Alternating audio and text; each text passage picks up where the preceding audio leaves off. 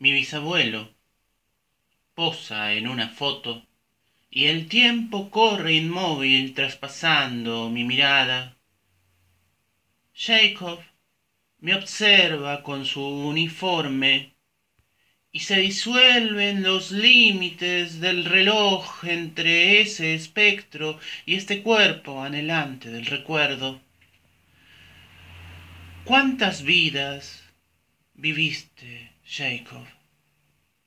¿Te acordás cuando estabas al pie de las trincheras, los días y las noches esperando alguna señal de un enemigo invisible y permanente?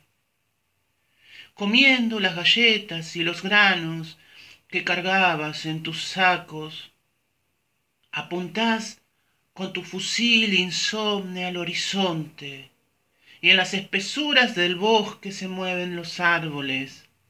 Las trincheras son una tumba que guarda los cadáveres que dejó la nevada.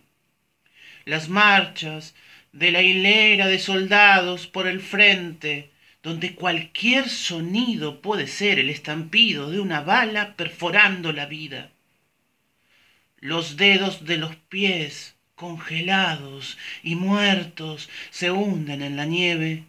Ya no sientes tus alargadas extremidades, ya no sientes tu carne que se desprende de todo lo humano.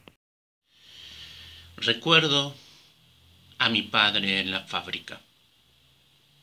Recuerdo cuando corría mi infancia entre los mágicos artilugios de las leyes, de la física y la técnica. Recuerdo su imagen inmensa dando forma al alma del metal en el torno y toda su azul humanidad de grafa obrera se ilumina en el génesis del tiempo me mira mi padre y me señala las fosas de la fábrica para que no me trague el vacío y mi niñez escucha las palabras que no dice. A la imagen de mi madre baldeando la casa. Dormía o simulaba el sueño de la tarde la siesta era uno de los mandamientos escritos en una piedra invisible por un Dios silencioso y ajeno. El ruido de los baldes de agua golpeando el piso.